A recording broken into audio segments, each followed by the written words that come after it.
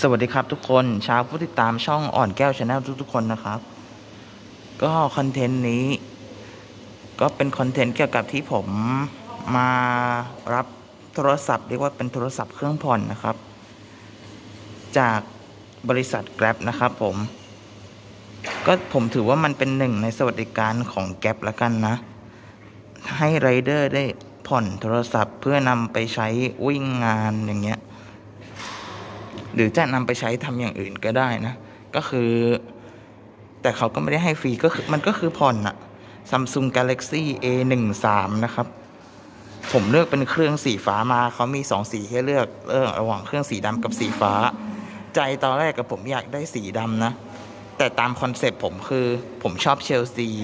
ต้องเลือกแบบไม่ว่าจะเลือกสิ่งของอะไรแล้วก็แล้วแต่ผมจะพยายามเลือกให้มันออกเป็นแบบ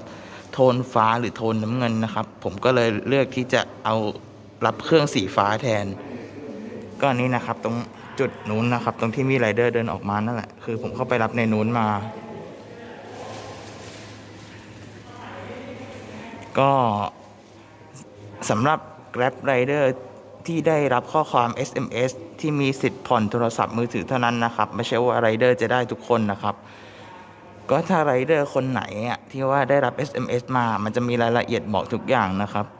แต่ผมจะบอกพิกัดคร่าวๆ ก็คือเป็นตึกธนภูมิชั้น 8 นะครับ ที่ผมมารับโทรศัพท์มือถือวันนี้ ก็เครื่องเนี้ยจริงๆอะมันมีเครื่องเนี้ยผมจะเก็บไว้ใช้เองนะครับ และที่ผมเคยบอกว่า เดี๋ยวจะผ่อนโทรศัพท์มือถือให้ยาก็คือ เดี๋ยวผมจะเอาเครื่องเก่าที่ พ่อผมให้ใช้อะที่เป็นเครื่อง vivo ผมจะเอาเครื่องนั้นให้ย่าแทน แล้วผมจะเก็บเครื่องนี้ไว้ใช้เองครับ ก็หลายๆท่านอาจจะได้ยินเสียงผมพูดเบาอีกตามเคยนะครับ หรือถ้าเกิดว่าผมพูดไปอาจจะมีเสียงหอบดังพอๆกับเสียงพูดนะครับ ก็คือตอนเนี้ยผมจะไม่พูดดังเพื่อไม่เป็นการรบกวนคนอื่นนะครับ พยายามจะพูดให้เบาที่สุดแต่ให้ได้ยินเสียงชัดที่สุดนะครับ ก็ผมมาคือเวลาตามนัดอะมันเป็นเวลาประมาณ 10โมงครึ่งถึงเวลา 12นาฬิกาก็คือตอนเที่ยงนะครับ 10โมงครึ่งถึงตอนเที่ยง แต่ผมมาถึงที่ตึกธนภูมิอะประมาณ 11โมงครึ่งแล้วผมก็ขึ้นมาที่ตึกชั้น 8 เลยครับ จอดรถที่ด้านหลังตึก แล้วก็ขึ้นมาที่ชั้น 8 พอขึ้นมาที่ชั้น 8 ปุ๊บก็เดินตรงมาเรื่อยๆ เขาจะมีป้ายบอกอยู่นะครับนะอย่างอย่างป้ายที่อยู่ในทีวีตรงนู้นอะ เขาก็จะบอกแบบบอกเป็นลูกศรมาเรื่อยๆมาทางไหน เราก็มาถึงห้องนี้แล้วเราก็เดินเข้าไปเลยนะครับ รับบัตรคิว แล้วก็ไปรอลงทะเบียนตามจุดต่างๆ ประมาณ 3 จุดนะครับ แล้วก็รับเครื่องโทรศัพท์มา เสร็จแล้วก็ตรวจสอบเครื่องว่าใช้ได้ตามปกติไหมแล้วก็มีคุยเรื่องสัญญานิดหน่อย โทรศัพท์รับประกันเท่าไหร่ อุปกรณ์รับประกันเท่าไหร่ แล้วก็เสร็จแล้วก็ก่อนออกอะเขาจะมีอ่าแบบเหมือนมี เสริมให้เราอะแบบมีติดฟิล์มได้ซื้อเคสโทรศัพท์ได้ แต่ผมว่าผมจะยังไม่ติดฟิล์มที่นี่ครับ